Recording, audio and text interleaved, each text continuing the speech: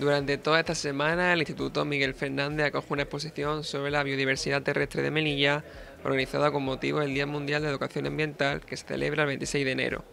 Esta actividad ha sido organizada por el profesorado de Educación y Control Medioambiental y es dirigida por el miembro de Graya Melilla, Manuel Tapia, que enseña a todos los alumnos del centro las especies vegetales y animales que se pueden encontrar en la ciudad.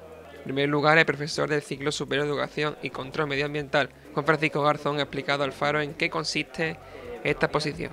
La actividad consiste en una exposición de biodiversidad eh, para que conozcamos la eh, riqueza que tenemos aquí en este enclave en Melilla, ¿vale? Muy diferente, la mayoría de las especies que aparecen aquí, vegetales y animales, no están, la mayoría no están en la península ibérica. Así que la idea de esta exposición es dar a conocer el patrimonio natural que tenemos aquí en Melilla. Por su parte, Manuel Tapa ha informado sobre cuáles son los principales objetivos que se pretenden conseguir con esta iniciativa. Bueno, eh, yo tengo dos objetivos siempre, dos objetivos claros, que es que descubran la biodiversidad de Melilla y descubran lo importante que es conservar esta biodiversidad.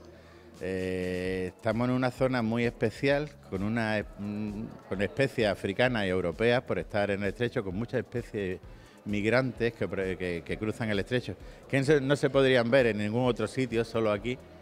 y quiero que lo entiendan, quiero que las conozcan y se echa de menos que haya más divulgación de estas especies porque se, se nota que, que, para muchos es algo nuevo, es algo que, acaban de aprender.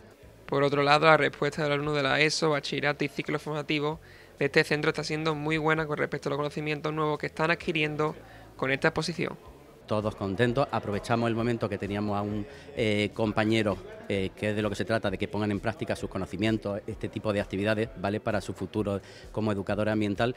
Y aprovechamos que teníamos más tiempo y nos contó toda una cada una de las láminas con todo lo que lleva ese, ese animal, ese, ese vegetal detrás, el por qué, porque es único, fantástico. Nos aprovechamos en este caso de, del profesor para, para actualizarnos y ponernos al día.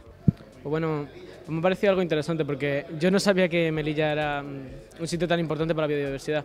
A ver, sabía que teníamos como unas lapas que estaban casi en peligro de extinción en casi todo el mundo y que era como algo súper raro aquí, pero no sabía que había como tantas especies.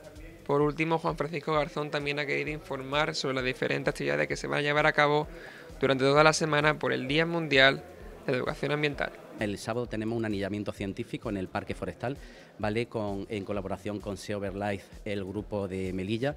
Eh, será a primera hora de la mañana, de 8 a 11.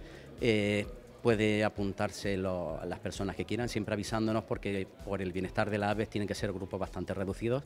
Y para acabar el domingo eh, tenemos una caminata igual en, colaboración con Gelaya Ecologista de Nación, donde vamos a quedar en la desembocadura del río, del río de Oro, ¿vale? y vamos a andar para ver la renaturalización del río, para ver la biodiversidad que nos, que nos presenta este enclave Melilla.